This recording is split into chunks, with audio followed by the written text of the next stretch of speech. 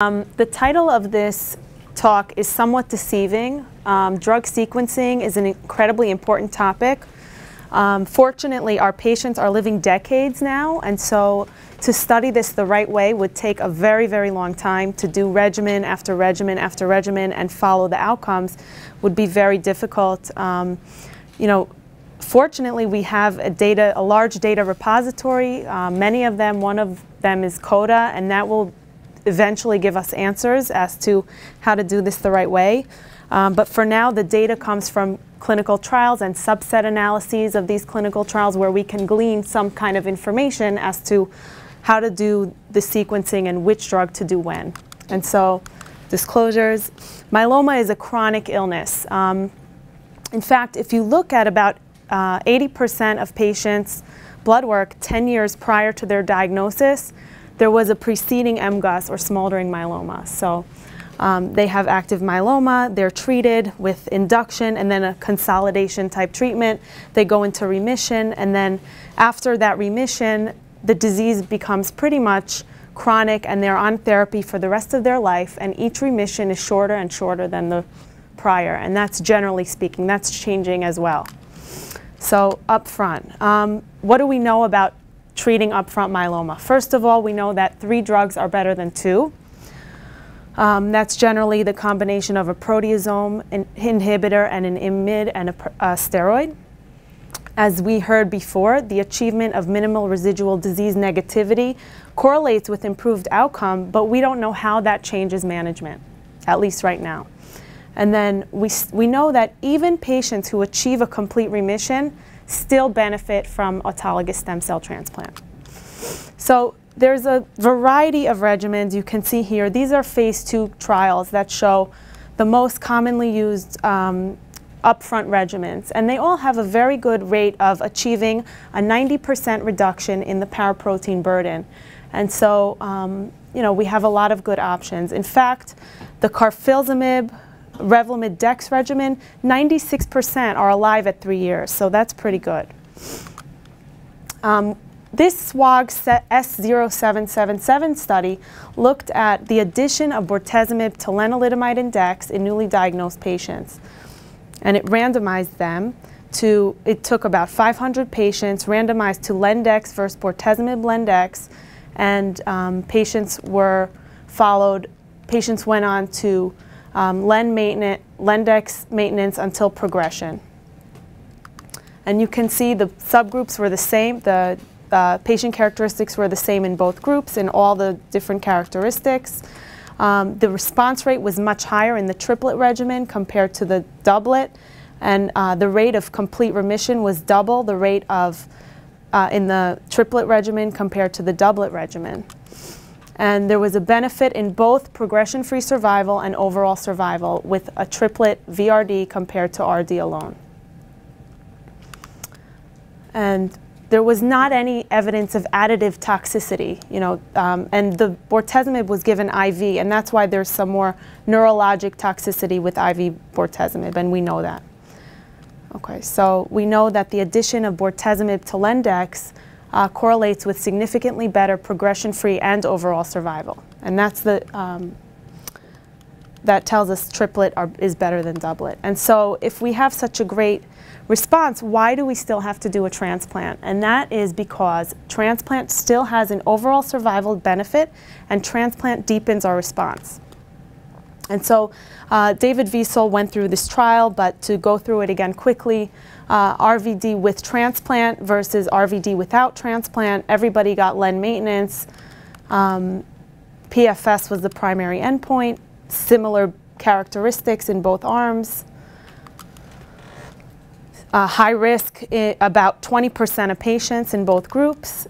And you have a much higher um, overall response rate. It was significantly different in the transplant group. And a lot more MRD negativity, 80% in the transplant group versus 65% in the non-transplant group. So PFS was significantly better in patients who received autologous stem cell transplant. And in multivariate analysis, the transplant still held up in terms of uh, prognostic factor for progression-free survival. So we have to encourage our patients to get a consolidative transplant. There was no difference in overall survival, um, but we need longer-term follow-up.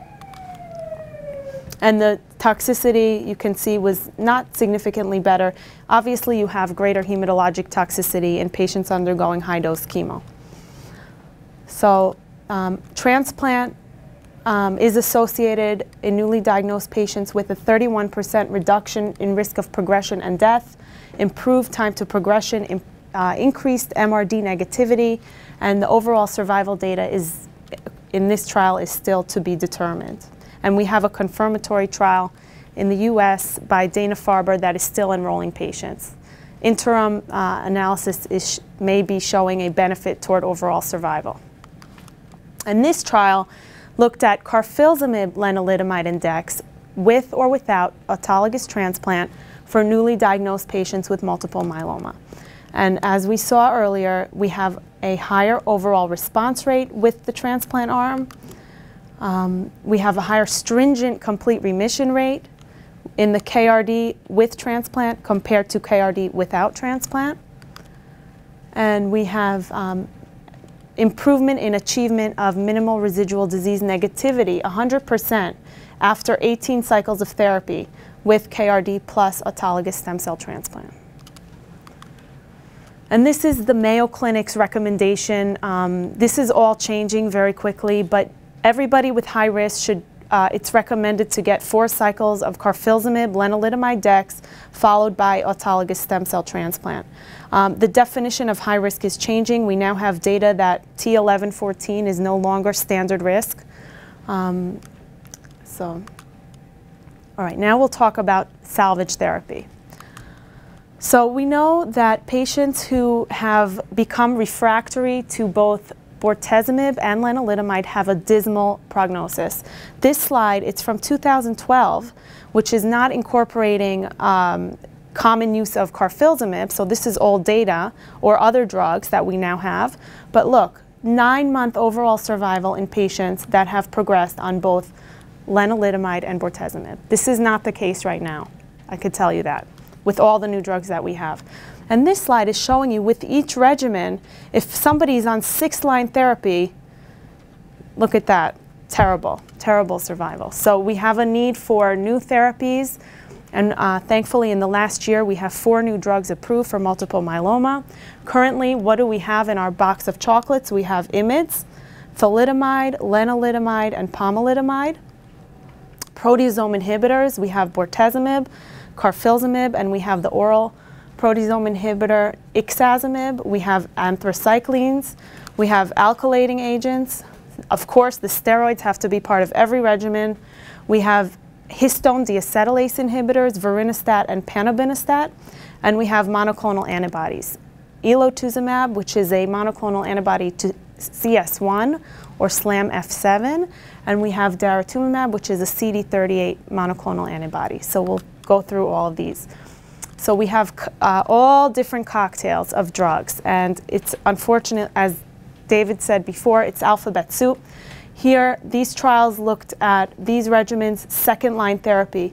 But if you look at these fifth line therapy, these regimens, 70% overall response rate in patients that have had five lines of prior therapy and PFS and OS of 20, 20 months 10 months and not reached is pretty good. So we have very potent agents. We can combine them in all different ways, and our patients are really benefiting from these drugs. How do we pick salvage therapy? So we have to look at two things. The disease, how fast is the M spike and the paraprotein rising? Is it tripling in a month or is it progressing by 0.1 over a year? Um, do we have plasma cell leukemia? Is there bulky extramedullary disease? So you have to look at that. And at the same time, look at the host. The age, the comorbidities, the organ function, and the frailty index are all important determinants in what you're going to pick. These are the key phase three clinical trials for the newer agents that we have approved in the last year. And so we're going to go through all of these trials in brief. So carfilzomib is a tetrapeptide epoxyketone proteasome inhibitor. It binds selectively and irreversibly to the proteasome. And this is the ASPIRE trial. It was a randomized open label phase three study of 792 patients randomized to carfilzomib, Lendex versus Lendex. And it showed a um, significant progression-free survival benefit, 26.3 versus 17.6 months. So, and that maintained in high-risk patients.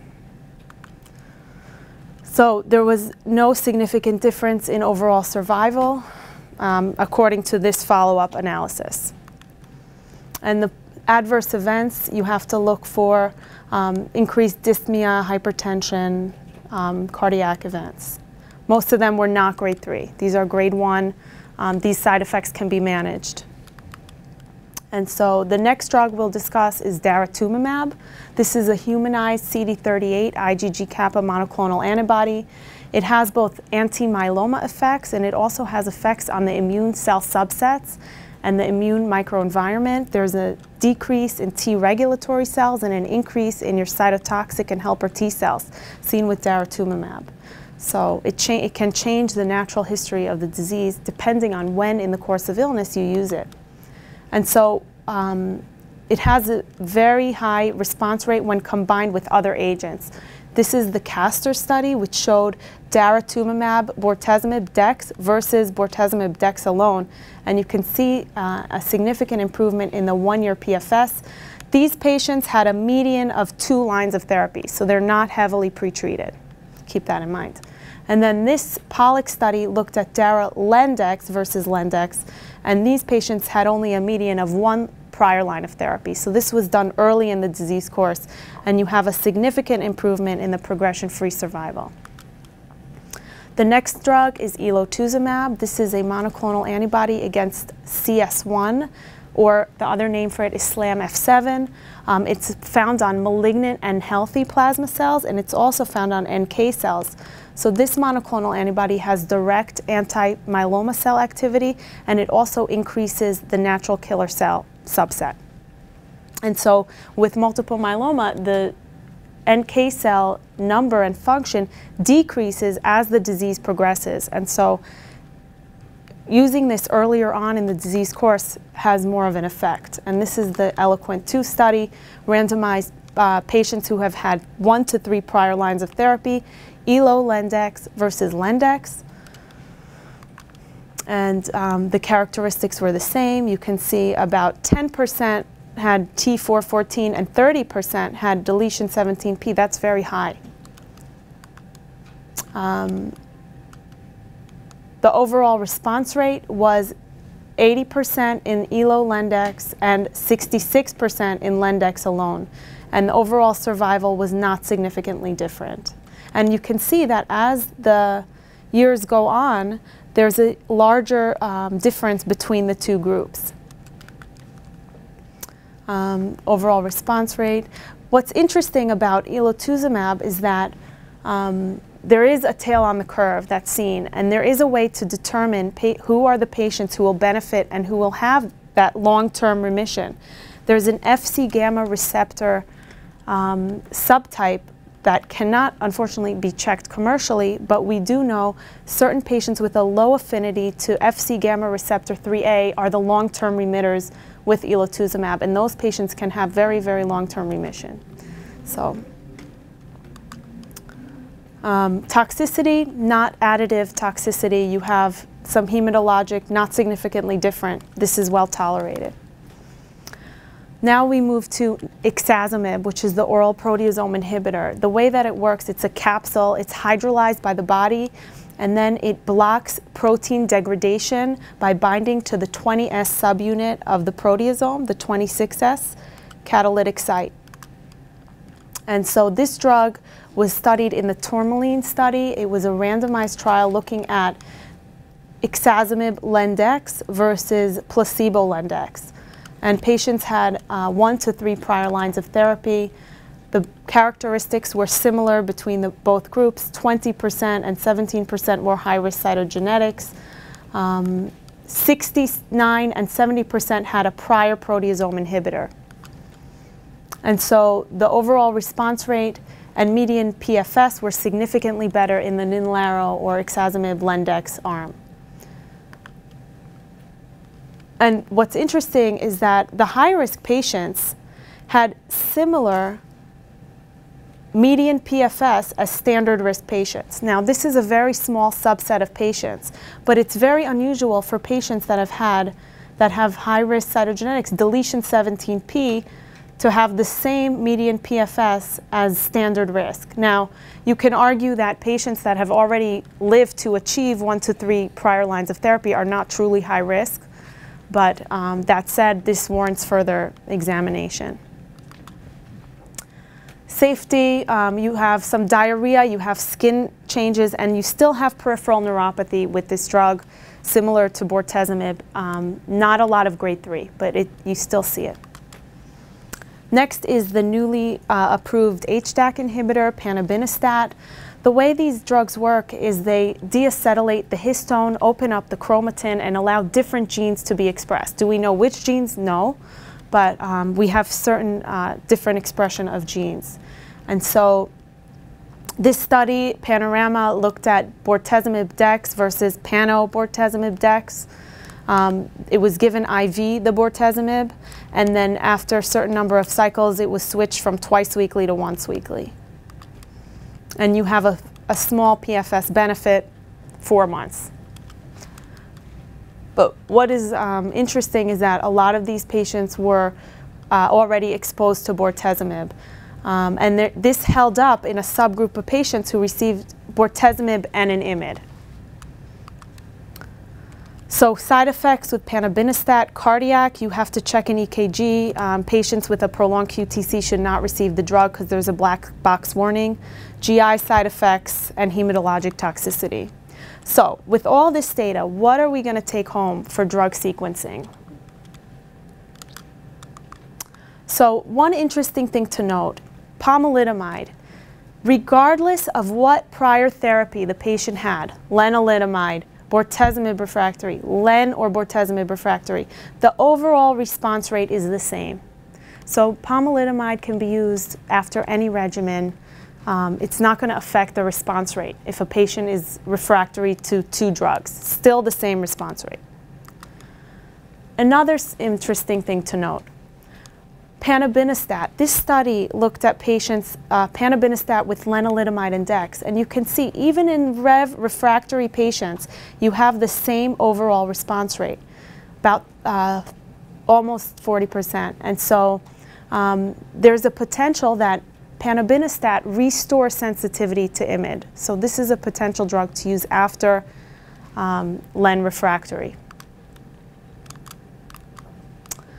This is a subset study of um, one of the carf one of the carfilzomib trials in which investigators were allowed to um, add on any FDA-approved drug to patients already on carfilzomib in a in as part of the carfilzomib clinical trials. And what's interesting is that even fourth line therapy, even though there was a small amount of patients, you still have an overall response rate of 40 percent with the addition of any of these drugs, dexamethasone, lenalidomide, cyclophosphamide, thalidomide, and even doxorubicin. And so the addition of any FDA-approved agent, well, not any, but these, um, often restores sensitivity and um, continues to be, um, you can continue to see a response on a carfilzomib-based regimen. And then this drug Dr. Siegel talked about, which is the anti-PD-1 uh, inhibitor, you can see it's being, we are using it uh, as compassionate use in a lot of patients uh, with myeloma that are refractory to all FDA-approved agents and may not be clinical trial candidates. But you can see that the response rate is still high in LEN refractory patients. And so the take-home points for um, where to use what drug Response to POM and DEX does not depend on prior therapy. HDAC inhibitors can potentially be used late in the disease course. They can restore sensitivity to lenalidomide. When progressing on carfilzomib, response can be recaptured with almost any other FDA-approved drug. Uh, pembrolizumab Lendex can um, restore response in refractory patients. Daratumumab, um, as we said, it changes the immune uh, subset milieu. Maybe there are effects if you use it earlier on in the disease. We just don't know what it's going to do to the natural history of the disease when used early on because of the changes it makes on the immune cell subsets. And then um, with elotuzumab, remember it somewhat depends on NK cell functionality, and so it may not be effective later in the disease course, so use it early. And this is the NCCN um, guidelines and recommendations of all the different cocktails for myeloma. Thank you. Okay. Two questions, one clinical, uh, because we have so many options, patients do really well and live longer. We're starting to see more plasma cell leukemia and CNS involvement. Mm-hmm. Do we know how to predict those or manage those, pre- prevent those, or, or and how we manage those? Right. So we know now that combination therapies are better than, than using one drug at a time, sequential therapy. And that's because even before diagnosis, there are so many clones of disease. And so when, you're, when we're using one drug maintenance therapy, we're breeding resistance. And there's actually a nice trial that was presented um, at ASH, and it showed the number of clones with Len maintenance and without Len maintenance, and they're just exponentially greater. And I believe that perhaps you're breeding more aggressive, more resistant disease, and we are seeing more extramedullary and CNS disease. And I think that's why. And once you have this, how do you manage it? How do- Uh, they so- usually do poorly, but Um, you know, we can do IT chemotherapy. What are the um, biological drugs that have an effect on, on CNS um, patients? Biological therapies have some effect? I'm wondering if immunotherapy um, can indeed do that because you're not only stimulating what goes into the body, but the immune cell subsets that are upregulated may have some effect.